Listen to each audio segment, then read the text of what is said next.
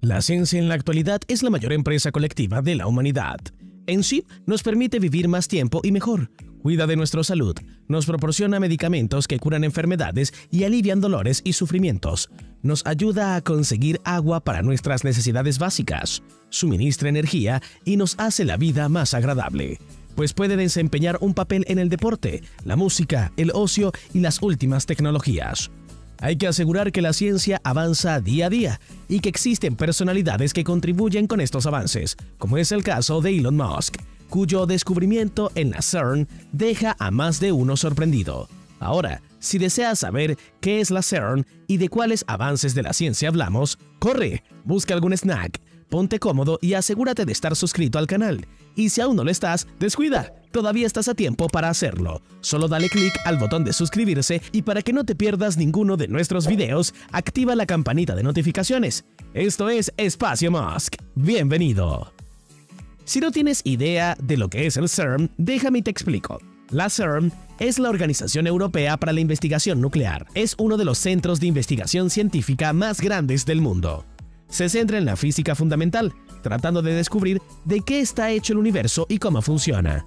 Los instrumentos utilizados en la CERN son aceleradores de partículas y detectores.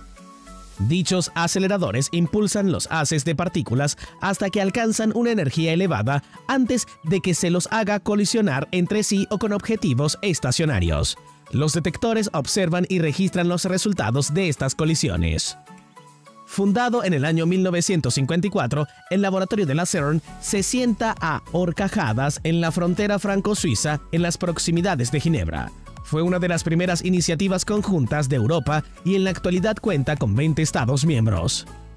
En ella se han desarrollado una gran cantidad de investigaciones, prototipos y herramientas que colaboran a la ciencia y por supuesto a ampliar nuestros conocimientos, como es el caso del Gran Colisionador de Hadrones, LHC por sus siglas en inglés. Es el mayor acelerador de partículas del mundo.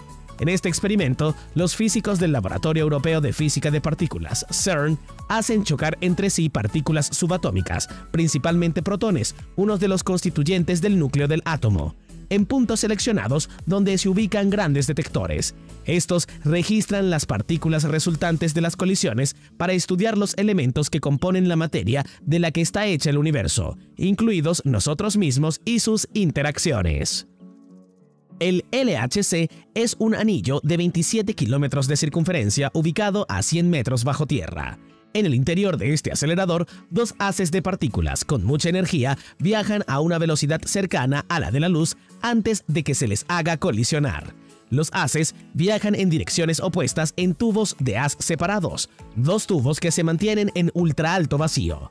El interior del anillo es el lugar más vacío del sistema solar, 10-13 atmósferas para evitar que las partículas colisionen con moléculas de gas, y cuando las partículas colisionan entre sí, se generan temperaturas 100.000 veces más calientes que el interior del Sol.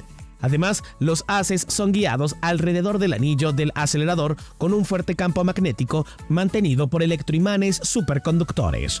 Los electroimanes están construidos con bobinas de un cable eléctrico especial que funciona en estado de superconductor, conduciendo eficazmente la electricidad sin resistencia ni pérdida de energía.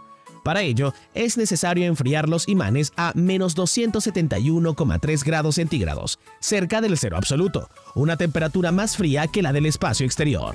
Por esta razón, gran parte del acelerador está conectado a un sistema de distribución de helio líquido que enfría los imanes, así como a otros servicios de suministro. Se utilizan miles de imanes de diferentes variedades y tamaños para dirigir los haces alrededor del acelerador. Entre ellos se encuentran 1.232 imanes dipolares de 15 metros de longitud que curvan los haces y 392 imanes cuadrupolares, cada uno de ellos de 5 a 7 metros de longitud, que enfocan los haces. Justo antes de la colisión se utiliza otro tipo de imán para apretar las partículas y aumentar las posibilidades de colisión. Las partículas son tan diminutas que la tarea de hacerlas colisionar se asemeja a disparar dos agujas a 10 kilómetros de distancia con tal precisión que se encuentren a mitad de camino. Cuéntanos, ¿sabías de la existencia de este colisionador de hadrones? ¿Conocías la existencia de la CERN? Comparte con nosotros tu respuesta. Escríbela en el buzón de comentarios. Como todo objeto, llegó el momento de hacerle mantenimiento, y luego de más de tres años sin uso se reinicia de nuevo el acelerador de partículas más grande y poderoso del mundo. El pasado 22 de abril, dos haces de protones circularon en direcciones opuestas alrededor del anillo de 27 kilómetros del gran colisionador de hadrones con su energía de inyección de 450 mil millones de electrovoltios, 450 GeV. Estos rayos circulaban con energía de inyección y contenían una cantidad relativamente pequeña de protones. Las colisiones de alta intensidad y alta energía están a un par de meses de distancia, dice el jefe del departamento de vigas del CERN, Rodri Jones. Pero los primeros rayos representan el reinicio exitoso del acelerador después de todo el arduo trabajo del largo cierre. Las máquinas y las instalaciones se sometieron a importantes actualizaciones durante el segundo cierre prolongado del complejo de aceleradores de la CERN, dice el director de aceleradores y tecnología de la CERN, Mike Lamont. El propio LHC se ha sometido a un extenso programa de consolidación y ahora funcionará como una energía aún mayor y gracias a las importantes mejoras en el complejo de inyectores, proporcionará muchos más datos a los experimentos mejorados del LHC. Durante este nuevo periodo de funcionamiento del LHC, también se prevé el comienzo de dos nuevos experimentos, FASER y CND-LHC, diseñados para buscar física más allá del modelo estándar.